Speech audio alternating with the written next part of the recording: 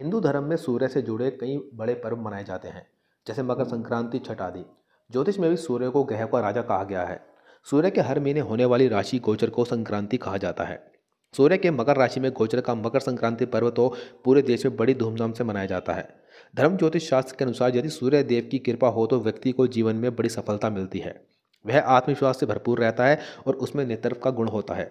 सूर्य की कृपा पाने के लिए सूर्य मंत्रों का जाप और सूर्य चालीसा का पाठ बहुत प्रभावी होता है। आइए जानते हैं सूर्य चालीसा पढ़ने के फ़ायदे। सूर्य चालीसा पढ़ने से कुंडली से सूर्य ग्रह मज़बूत होता है, वरना कमज़ोर सूर्य जातक को ढेरों समस्या देता है, जैसे कमज़ोर सेहत, आत्मविश्वास की कमी, मान हानि, असफलता आदि। वही कुंडली में सूर्य का मज़बूत होना बहुत लाभ देता है, लिहाजा रोज सुबह स्नान करके सूर्य देव को अर्घ्य दें और फिर सूर्य चालीसा का पाठ ज़रूर करें। सूर्य की पूजा करने सूर्य चालीसा पढ़ने से जातक दीर्घायु होता है। उसकी सेहत अच्छी रहती है। यदि रोज़ सूर्य चालीसा ना पढ़ सके तो कम से कम रविवार के लिए ज़रूर सूर्य चालीसा का पाठ करें। यदि कई बीमारियाँ, निराशा के शिकार हैं तो रोज़ सूर्य चालीसा का पाठ करें। इससे सेहत संबंधी समस्याएँ दूर होती हैं और व्यक्ति निरोगी रहता है। सूर्य चालीसा का पाठ व्यक्ति में आत्मविश्वास, ऊर्जा और साहस का संचार करता है। इससे उसे कामों में सफलता मिलती है। सूर्य नेत्र क्षमता देते हैं।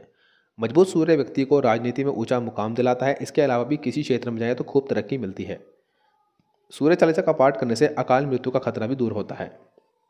सूर्य चालीसा का नियमित पाठ करने वालों अपने कामों पर समय से और पूरी ईमानदारी से पूरा करने वालों को खूब सफलता मिलती है।